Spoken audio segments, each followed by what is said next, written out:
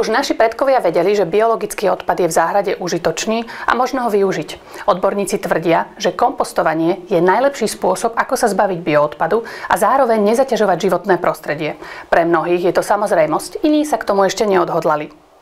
Od 1. januára je povinná každá domácnosť v rodinnom dome požiadať hlavné mesto o dodanie buď kompostovacieho zásobníka alebo zbernej nádoby s minimálnym objemom 120 litrov. Znamená to, že každá domácnosť, každý rodinný dom, ktorý už teraz je zapojený do systému zberu komunálneho odpadu, musí tiež podať žiadosť o zapojenie systému zberu biologicky rozložiteľného odpadu z údržby zelene.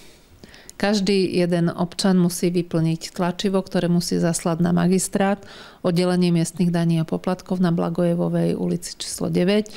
Môže však túto žiadosť podať aj na miestnom úrade a my, my ich potom hromadne budeme zasielať na magistrát. K tomuto kroku sa pristúpilo preto, aby sa z odpadu vyseparovalo čo najviac zložiek. A v podstate zhodnotilo, zrecyklovalo, Čiže tento všetok biologicky rozložiteľný odpad by sa mal v podstate zhodnocovať a vyrábať z neho kompost.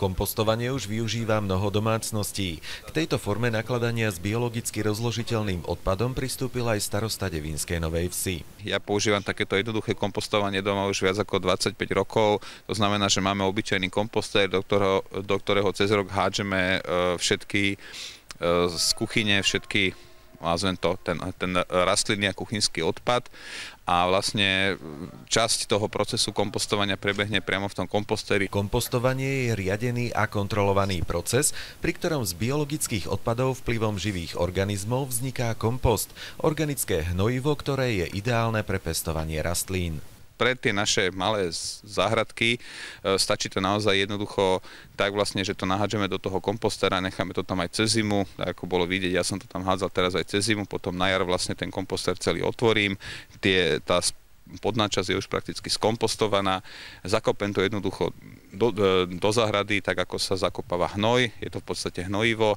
a takto vlastne všetok rastliny a kuchynský odpad e, likvidujem. Každý si môže zvoliť, či chce kompostovať na vlastnom pozemku. V takom prípade môžete požiadať o kompostovací zásobník. Sú tam tri možnosti a síce, že požiadajú o zbernú nádobu, ktorú bude OLO tak ako komunálny odpad pravidelne vyvážať. Ten interval odvozuje raz za 14 dní.